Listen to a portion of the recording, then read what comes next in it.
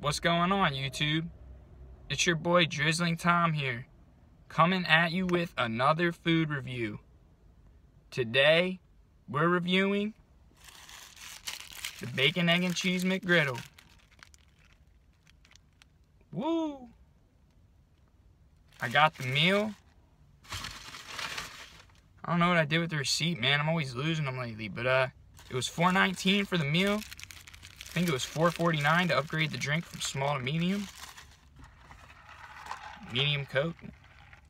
It's just a review for the McGriddle, though. Because I'm going to compare it to their biscuit bacon, egg, and cheese on a biscuit. Yep. So bacon, egg, and cheese McGriddle versus bacon, egg, and cheese on biscuit, I guess you could say. But I'll put a card up there to the uh, the bacon, egg, and cheese on a biscuit from McDonald's food review. So this is to be the bacon, egg, and cheese McGriddle food review. All right, let's do this. All right, let's get right into this. Here it is. Looks like some pancake tops. McDonald's symbol.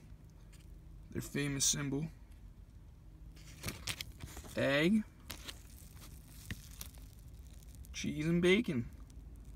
Kind of skimp bacon like usual for McDonald's. I like how the cheese is melted though.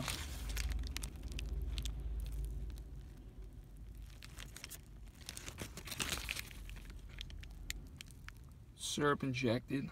That's pretty good. Alright. Let's try this out.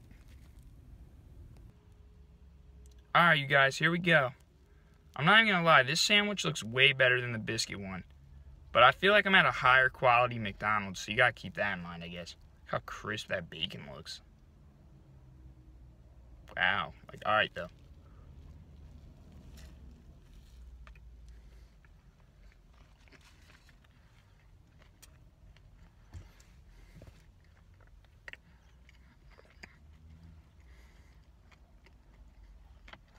I taste the syrup. Really good. The egg, fresh. Bacon's crisp. Cheese is melted. It's gonna be a five out of five. I like this way better than the biscuit. That's my opinion. I mean, I guess it depends on your preference. It's moister.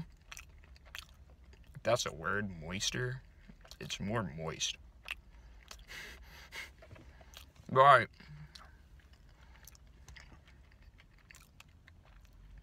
Comment, like, share, subscribe. It would really mean so much to me, you guys, trying to grow this audience. And, uh, yeah, peace.